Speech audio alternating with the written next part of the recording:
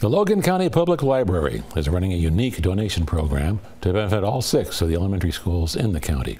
Underwear is a basic need that is easily forgotten, and an estimated 1,000 pairs are given to Logan County children who need clean pairs due to accidents at school or issues at home. The library currently has 427 pairs of their 3,000 pair goal and is asking the community's support in achieving that goal.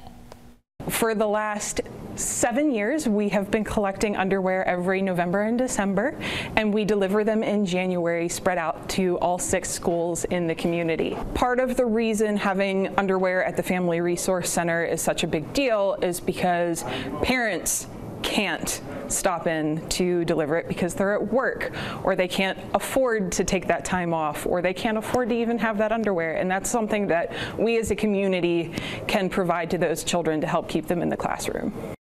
If you need information or would like to place an online order to help the library, you can find more information on our website, wbko.com.